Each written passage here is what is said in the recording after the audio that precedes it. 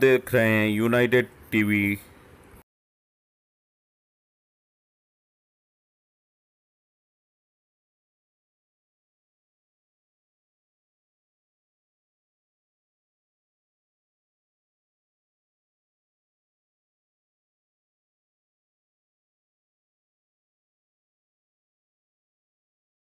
यह घटना स्थल जहाँ एक शिक्षक ने दूसरे शिक्षक को के साथ मारपीट की।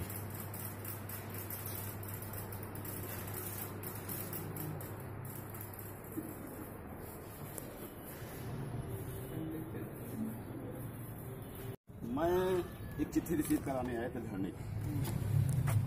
और चिट्ठी रिसीव करा के मैं जा रहा था। लेखा में गया, लेखा जैसे जो पीछे एक राजेश शुक्ला उन्होंने मेरे पर हमला कर दिया। ये भी मास्टर हैं। राही ब्लॉक में हूँ किस विद्यालय में नहीं जानते हैं। भाग गए यहाँ से। चले गए।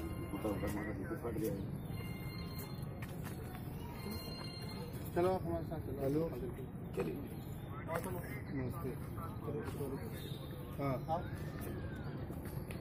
हाँ ठीक है ठीक है। चलो ठीक आओ तुम अब आओ मुलाकात।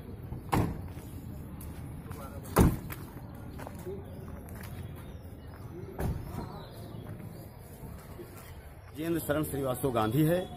मैं शिक्षक हूँ डी ब्लॉक में और मैं उत्तर प्रदेशी प्राथमिक शिक्षक संघ शाखा रावली की जिला संघर्ष समिति का मैं जिला अध्यक्ष था। क्या मामला हुआ ये? मामला ये हुआ कि मैं आज धरने की नोटिस रिसीव कराने के लिए मैं बीएससी कार्यालय रावली आया हुआ था और मैं नोटिस रिसीव करा के जब लौट रहा था तो पीछे से राजेश शुक्ला ने मुझ पर हमला कर दिया। मैं सामने से गिर गया मेरा चश्मा कहाँ गया मुझे पता नहीं है मेरी जेब में जो मल्टीमीडिया का मोबाइल था वो इन्होंने निकाल लिया और साढ़े चार हज़ार रुपए जेब में थे वो निकाल लिया और लेकर के ये भाग गए। गेट पर श्रीकांत शुक्ला इनके साथी हैं मुकेश द्विवेदी चंद्रमण वाजपेयी ये लोग वहाँ खड़े हुए थे और इन्हीं के साथ सब भाग गए। इस साजिश में पूरा लल्लन मिश्रा का हाथ है। लल्लन मिश्रा ने ये कराया है ये धमकी मुझे तीन चार दिन से मिल रही है। कितने लोग थे मारने में आपको? मारने में तो राजेश शुक्ला अकेले थे। लेकिन इनके साथ के लोग हैं ये सब बाहर खड़े हुए थे पूरा योजना गिरोह बंद रूप खड़े थे गिरोह बनाकर।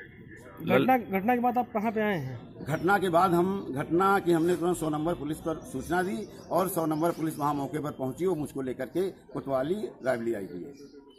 इस पूरी घटना में लल्लन मिश्रा का हाथ है, ये एक नंबर का भ्रष्टाचारी रिश्वत रिश्वतखोर है। इसने करोड़ों रुपए का घोटाला किया है।